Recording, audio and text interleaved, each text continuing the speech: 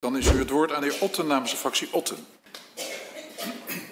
Voorzitter, allereerst spreekt de wens uit dat we in deze tweede termijn van deze algemene politieke beschouwingen meer vrijuit kunnen spreken dan tijdens de eerste termijn en u zich vanaf vandaag minder, op minder rigide wijze op het reglement van orde beroept en zaken zoals bespreken van het functioneren van voormalige CEO Benschop van Schiphol. Die daadwerkelijk Schiphol platlegt ruim vijf Nee, mevrouw, nee, nee, mevrouw Faber. Ja. Nee, nee, nee. We gaan hier niet mensen die hier niet zijn, overigens geldt ook voor de mensen die hier wel zijn, op de persoon aanvallen en beledigen. of het mislukte ministerschap van de vorige minister van VWS niet buiten de orde verklaart. Een mislukte coronaminister op volkshuisvesting. Nee, dat vind ik beledigend, wat u nu zegt. Overigens is de heer Benschop een paar dagen na mijn eerste termijn vervangen door de heer Zondag. Dus wie weet was het toch nog ergens goed voor. Voorzitter, zoals ik in mijn eerste termijn al zei, grossiert dit kabinet in crisis. De stikstofcrisis, de energiecrisis, de woningcrisis, de toeslagencrisis. Noem een probleem en dit kabinet weet er een crisis van te maken. De enige crisis die we helaas nog niet hebben is een kabinetscrisis. Hoe komt dit nou toch allemaal? Voorzitter, ik zal dit verklaren met behulp van het volgende citaat. Ik citeer. Ik vind het nooit gezond als mensen zo lang hetzelfde willen blijven doen. Dat hoor je ook terug uit het bedrijfsleven. Je kunt heel lang hetzelfde trucje blijven uitoefenen en je wordt er steeds beter in. Maar de delivery on the job wordt er niet beter van. Hetzelfde kunstje doe je steeds beter totdat je een niveau bereikt dat het niet beter wordt. Het past dan niet meer bij de tijd. Ik vind het een aantrekkelijk idee dat een premier maximaal twee termijnen mag dienen. Dat houdt iedereen fris en het zorgt voor min- meer in- en uitstroom in de politiek. Voorzitter, dit was op 30 januari 2021 het antwoord van vicepremier Sigrid Kaag op de vraag van AD-journalisten Peter Winterman en Jan Hoedeman of vicepremier Kaag vond dat Mark Rutte toch niet te lang premier was. Dit in het kader van de toenmalige D66-campagne voor nieuw leiderschap. Voorzitter, wij zijn het in dit geval voor de verandering volmondig eens met vicepremier Kaag en complimenteren haar met deze diagnose die werkelijk spot on is. Zoals u ons kent, voorzitter, is onze fractie voorstander van structurele oplossingen waarmee de Nederlandse politiek gemoderniseerd wordt. Vandaar de volgende motie. De Kamer, gehoord de beraadslaging, constaterende dat minister-president Rutte al twaalf jaar onafgebroken minister-president is en daarmee de langstzittende premier in de Nederlandse geschiedenis is.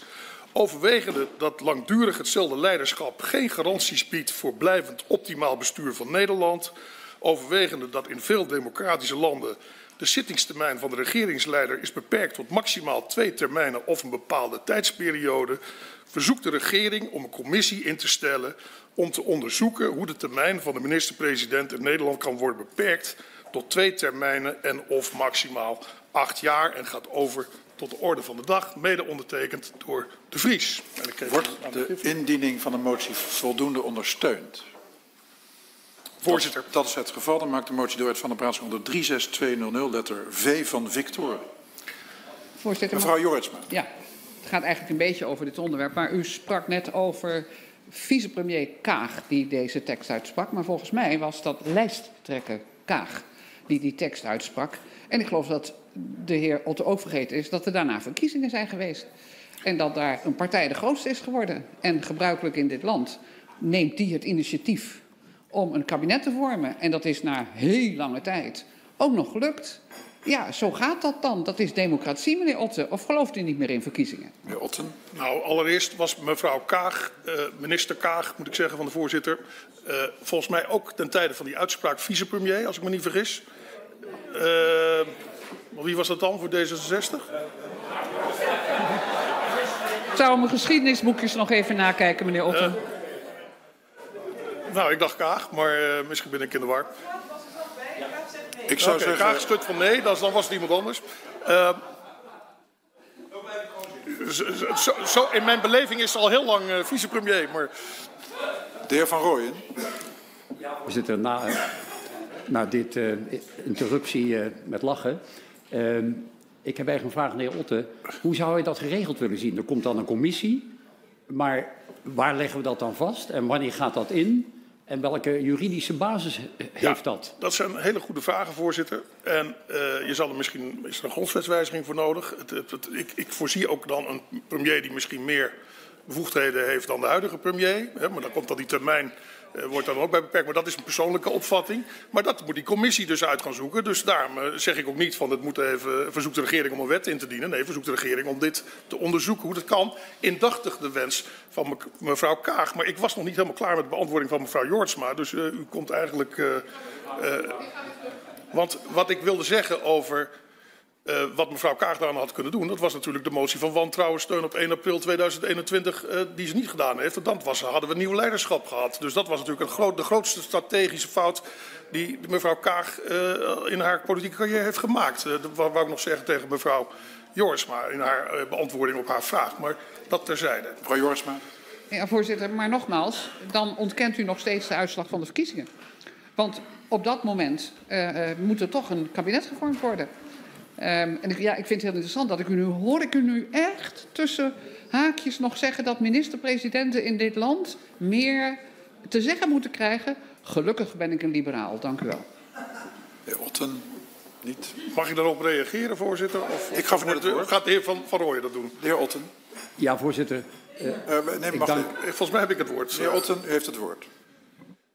Nou, dat, eh, je ziet natuurlijk in de praktijk, zegt tegen mevrouw Jorisma, dat de minister-president ooit in ons staatsrecht als een soort primus inter pares, als voorzitter van de regerings, eh, van, de, van de ministerraad. Maar die praktijk is natuurlijk door de EU en door de internationale verplichtingen. We zien elke week een corona-persconferentie, noem maar op. Dat is natuurlijk, dat heeft een hele andere eh, eh, lading gekregen. Dus dat lopen, we lopen, zoals met zoveel dingen in Nederland, lopen we weer enorm achter de feiten aan. En wordt het zaak dat we de zaak nu eens gaan moderniseren. En een normaal land gaan worden met normale governance, waar dingen gewoon ook eens weer gaan werken. En waar het niet van alles.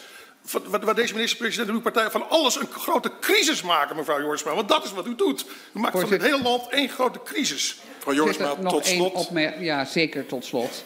Het zou misschien helpen als sommige fractievoorzitters niet over alles met de minister-president willen spreken. Want de minister-president is inderdaad die primus inter pares. En gelukkig in dit land hebben ministers heel veel eigen verantwoordelijkheden. En ik hoop echt dat dat zo mag blijven. Nou ja, ik constateer dat bijvoorbeeld toen. Ik heb eerder een vergelijking gemaakt met dit kabinet en het eh rampkabinet eh Terlouw eh, van 8, eh, wat was het, Den Uyl.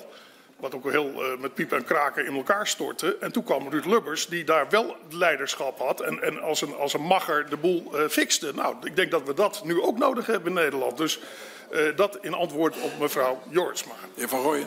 Voorzitter, ehm, de heer Otte gaf in zijn antwoord aan mij, waarvoor dank.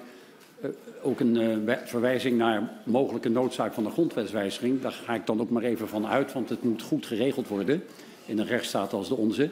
Maar de heer Otte realiseert zich dan dat wat hem betreft deze premier, deze premier dan nog wel acht jaar menselijkerwijs kan aanblijven.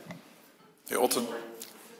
Nou ja, menselijkerwijs kan hij nog wel, wel, wel langer aanblijven, denk ik. Maar eh, of dat wenselijk... Menselijk wel, maar ik denk niet dat het wenselijk is.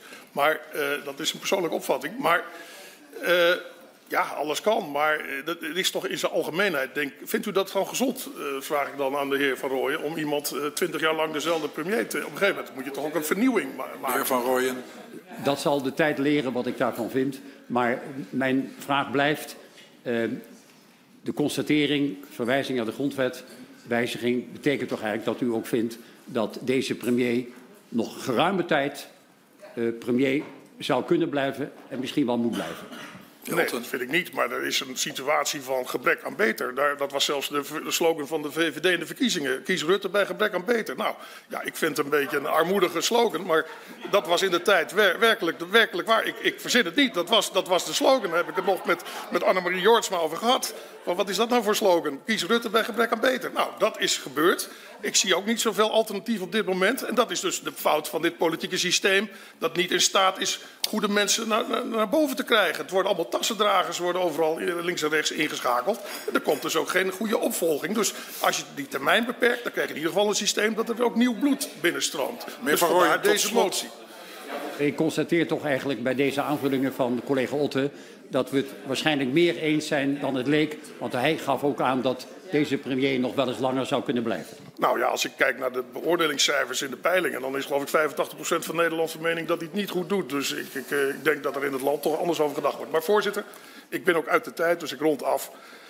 Uh, we gaan in ieder geval vanuit, voorzitter, dat de D66-fractie, ooit opgericht door Hans van Mierlo en Edo Spier, we herdachten hem net nog, met het standpunt in 1966 om de minister-president te kiezen en uh, met de uitspraken van uh, toenmalig lijsttrekker Kaag voor deze Kaag-motie gaat stemmen. En uh, dat zien we dan graag bij de stemmingen vanavond. Tot zover, voorzitter.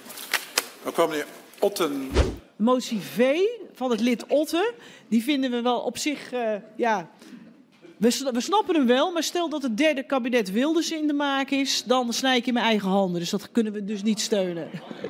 Dan stemmen we over de motie 36200 letter V van Victorie. Motie van het lid Otten Koemsoeis over het beperken van de termijn van de minister-president tot twee termijnen en of maximaal acht jaar. Wenst een van de leden een stemverklaring over de motie af te leggen? Dat is niet het geval. We stemmen bij zitten en opstaan. Willen de leden die voor de motie zijn gaan staan? Voor de motie hebben gestemd de fracties fractie Nanninga, Partij voor de Dieren, fractie Otten. Daartegen de fracties van de OSF, Partij van de Arbeid, GroenLinks, D66, SP, PVV, SGP, ChristenUnie, CDA, VVD, 50 plus, Vorm voor Democratie en de fractie Frent erop, zodat de motie is verworpen.